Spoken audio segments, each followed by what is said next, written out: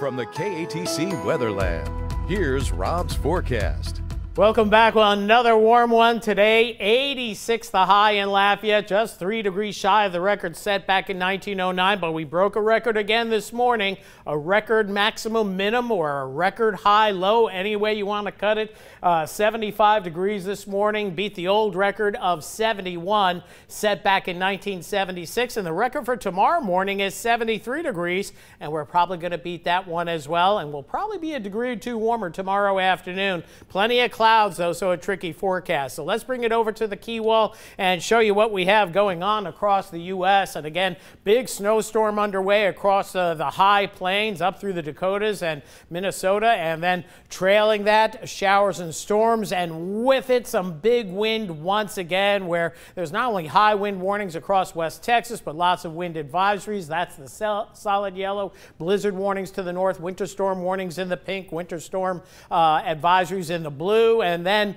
uh, on top of that, fire weather is undergoing as well with those high winds this afternoon. As of late this afternoon, there were 97 uh, wildfires, grass fires going on across portions of Oklahoma this afternoon. So windy day, and again, uh, we'll be watching that as well for us. Showers and storms lining up, severe thunderstorm watches spanning much of the Midwest. These go till about uh, 3 to 4 o'clock in the morning on the northern end, 1 o'clock on the southern end, and we expect more watches later on tonight. In fact, there are severe thunderstorm warnings ongoing right now. Wisconsin, portions of Iowa, mostly damaging winds and hail, so no tornadoes, but occasionally you can get a tornado out of these. Another severe thunderstorm warning just north of Kansas City. And then we kind of move this over and we can see that uh, trailing line down through Wichita, uh, perhaps impacting northeast Oklahoma. And later on tonight, that severe weather threat shifts a little bit farther to the east, covering a good part of Arkansas. And not much in Louisiana, but we shift to tomorrow.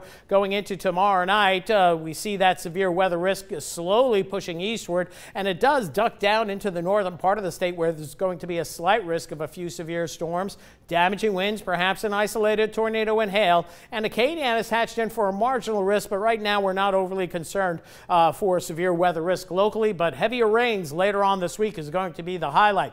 As we take a look at nine sweeping Doppler radars, we're bird dogging some some activity offshore and a few showers close to home. But all in all, across Acadiana, we're relatively quiet this evening as uh, Power Doppler 3 showing no echoes close to home. A lot of debris coming outside of those other Doppler radars this evening. So overnight tonight, plenty of clouds. It stays breezy and warm. Temperatures in the mid 70s overnight tonight. Then for tomorrow, scattered showers and a few thunder showers developing midday. Mainly, we'll say the northern portions of Acadiana. Nothing too terribly bad, but there could be a couple of strong cells up here. Again, model picking out one here just east of Natchitoches and uh, some action in Rapides and over toward Avoyelles Parish and then maybe Allen Parish. And we could see uh, St. Landry and Evangeline involved. So most of us rain chance in the 20% range, but it goes up to about 40% northern portions of Acadiana and then about 60% as you get into Cenla. This front eventually moves on through, but all the precipitation is going to be behind it. We're going to see disturbances rolling on through, and that's going to create an environment for scattered storms Thursday Thursday and widespread showers and storms coming in Thursday night into Friday. And Friday looks to be a stormy day with locally very heavy rainfall and the European model backing that up uh, with a kind of a real unsettled pattern for Friday. That looks to be a washout of a day. Saturday not looking much better, but better by late in the day into the evening hours. And we'll keep our fingers crossed that Easter Sunday uh, looks a little better. Plenty of lingering clouds, temperatures low to mid 70s for your Easter Sunday. As for rainfall, here's the rain accumulations. Notice we see a two to four inch swath across much of Acadiana. So some locally heavy rains back to the west. This is where we're thinking the flooding is going to occur. Uh, five to maybe up to an eight inch rainfall or more. And the GFS model pretty much backing up the Euro uh, bird dogging that uh, uh portions of southeast Texas may be uh, ripe for flooding uh, Thursday, Friday, perhaps early Saturday as well. For us, another warm and humid night, mid 70s, your overnight low low. Tomorrow back up to 86 or 87 for a high.